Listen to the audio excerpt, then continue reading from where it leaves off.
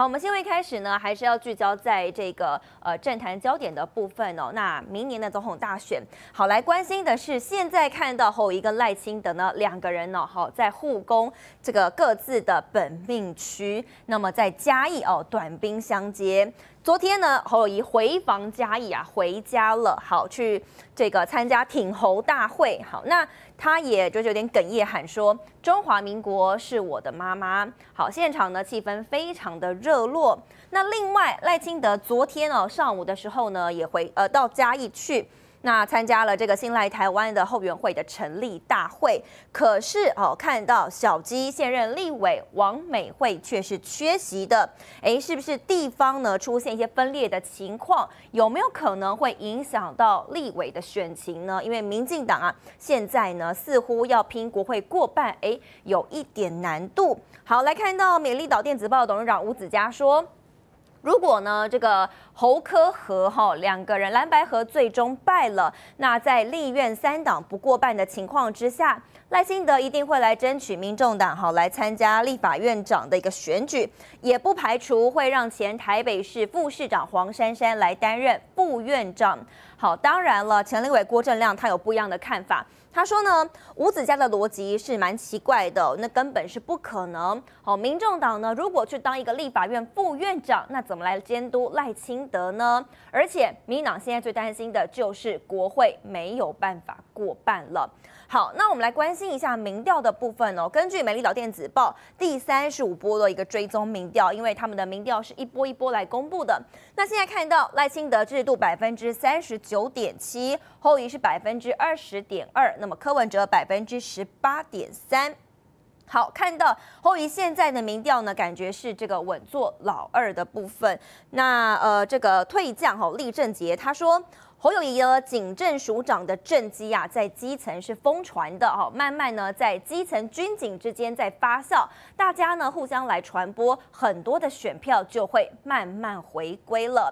好，看到网友的反应呢，网友说，近期国民党啊逐渐展现了团结之势。好，看到侯友谊不是有宴请这个蓝营的县市首长吗？那看到。无党籍的哦，苗栗县长中东锦也有出席等等，那感觉现在慢慢展现团结，加上侯办接连抛出了十四项的政见，尤其呢都是跟民生议题相关，所以呢大家觉得哎招招见血哦，民众很有感。那有人觉得侯怡逐渐的找回选战的节奏，所以让支持率往上升。好，那看到前立委郭正亮他说。哎，别的民调呢，大部分其实都是柯银侯的，不能够只看美丽岛的民调。那他认为国民党还要再加很多油。他说他有在接触民众党哦，民众党一点都不觉得柯文哲输给侯友谊。好，我们来听一下亮哥的分析。别的民调大部分都是柯文哲赢侯友谊啊，嗯，并没有跟进啊，所以我觉得不能只看美丽岛民调就就很高兴啊。美丽岛民调事实上有一个，有一个是跟与众不同啦，就是赖清德高到离谱，嗯，就是侯家科还输他嘛，这个别的民调都不是这样啊，别的民调侯跟科加起来都都超过赖清德，大概四趴到九趴都有，嗯，就只有美丽岛民调一直都是这样啊，就是如果按照美丽岛民调，那已经不用选了嘛，已经结束了啊，那赖清德为什么还在紧张呢？因为别的民调都不是这样嘛，啊，所以我认为，我认为侯友国民党还要加很多油啦。嗯，我跟你讲，我因为我有在接触民众党啊，民众党一点都不觉得柯文哲输侯友谊，我完全感受不到这个感觉，完全感受不到，啊，那这里面，而且民众党跟国民党的距离也很远你也不要以为他。好像蓝白河，然后民众党跟国民党就没有芥蒂了啊。知道民众党里面的人，很多人是不喜欢国民党的，那国民党里面有很多人是不喜欢柯文哲的，这个是现实啊，这个要面对啊，哦。所以刚刚大千才会讲到说，那大家就把过去的那些自己的感受放到一边吧。那我们这次就是为了下架民进党。为了某些政策的追求嘛，所以为什么大千才会去讲共同政策纲领？因为你没有共同政策纲领，你很难说服民众党啊。我说实在了，那他讲到那个阁回同意权，那根本不可能嘛。你你去想一想嘛，民众党如果去当一个立法院副副院长，嗯，那你怎么监督戴清德啊？那你这个政党就不用混了嘛？怎么会有这么笨的政党呢？这绝无可能的事了。这已经注定的立法院国民民进党如果没有过半，那立法院就是国民党跟民众党联合了。嗯，因为民众党那个吴子嘉那个逻辑很奇怪嘛。民进党哪有什么权利去邀请民众党组个组那个立法院啊？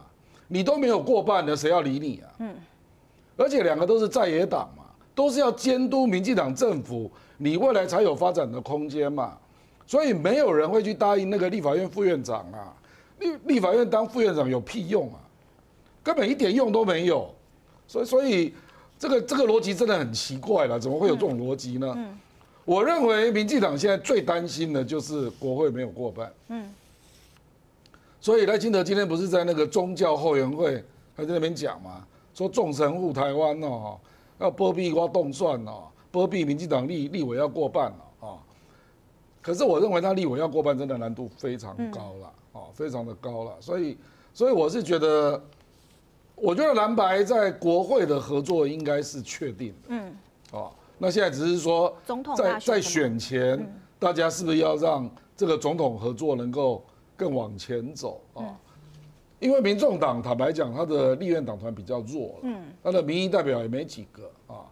那这一波这个打这个巴西鸡蛋这个案子，我认为国民党就感觉就是一个有利的在野党啊。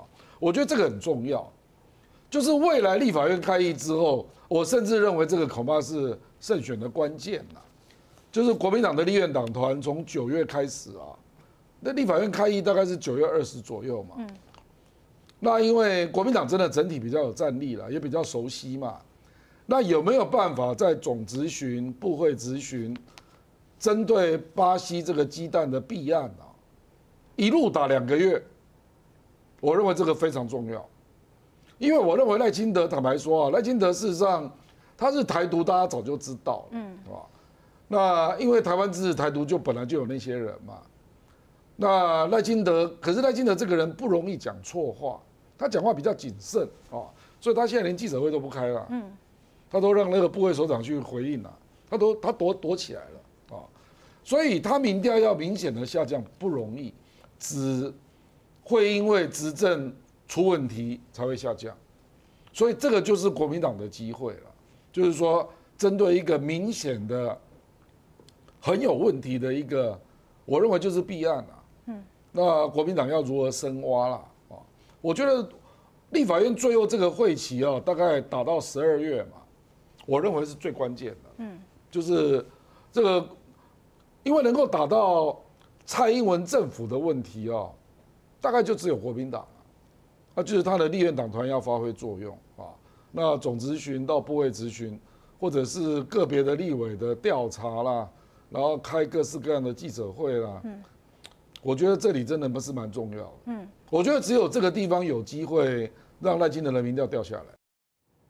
好，侯颖呢？昨天也是行程满档哦，桃园嘉义两边跑，要来拼故乡选票。他上午呢，先是出席了桃园嘎吉郎哈这个加己人挺侯大会，现场涌入了三千人来力挺。那么呢，他就呼吁说啊，自己人要先大团结。而根据最新的民调呢，侯乙的支持度开始来超车柯文哲了，也传出两个人会在十月的时候来会面。侯乙他就强调啊，会团结所有的力量来下。假贪污腐败的民进党。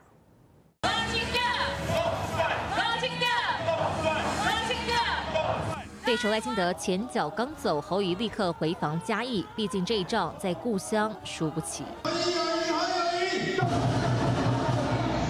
桃园嘉义挺侯大会都涌入超过三千名支持者，侯乙感动到鞠躬道谢，在整合之前，自己人要先团结。团结对咱本心开始，外口遐风风雨雨，开始。你卖听。在侯乙民调超车柯文哲之际，传出十月将会有侯科会，而将出任侯以全国竞总主委的国民党主席朱一伦则期盼再也合作。咖啡到底喝不喝得成？柯文哲这样说：四十年前就认识他的，我们都是民国六十八年进台大的哦，所以平常就有认识，有在有在聊天的，所以不用凡事不用搞得那么严肃。我倒觉得这蛮正常的，而且我们双边的幕僚平常就很密切在联络。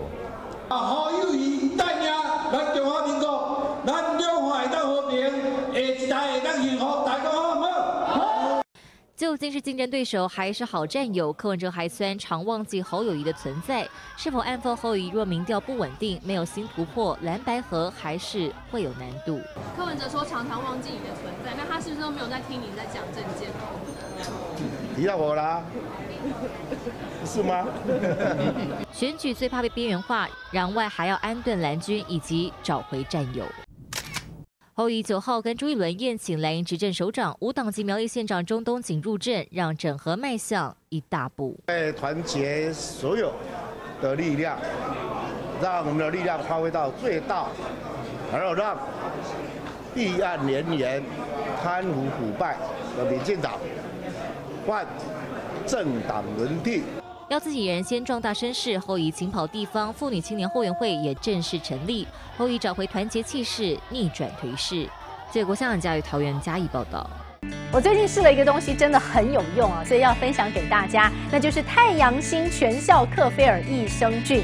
哦，吃了两三天，真的有明显的感觉。最主要就是睡眠的品质变好喽。那你知道，这个睡得好呢，整个人工作就可以更加的专注，当然情绪也就变得更好了。因为太阳星全效克菲尔益生菌，我才认识了这个克菲尔益生菌。它是由多支菌种益生菌所组合而成的，不但是能够维护消化道机能的正常运作，而且呢还有多种有益健康的保健功能，非常的强大。有台大教授专门研究它，把它叫做神仙的礼物。而您知道吗？有上千篇国际研究证实，克菲尔益生菌。不仅是帮助肠道健康，肠道菌透过肠脑轴影响全身的器官，所以维持肠道菌种的平衡，这是解锁身体健康、精神健康的钥匙。对于帮助睡眠、维持好情绪，真的是很有感。也因为这不是药，有季节敏感、代谢困扰、关心恶性细胞风险的好朋友们，选择太阳星全效克菲尔益生菌，做好日常的保养，身体轻轻松松，没有负担。每日克菲尔，时刻美好，Good feel feel good，请上快点购为健康下单，也记得输入推荐码，有额外的折扣哦。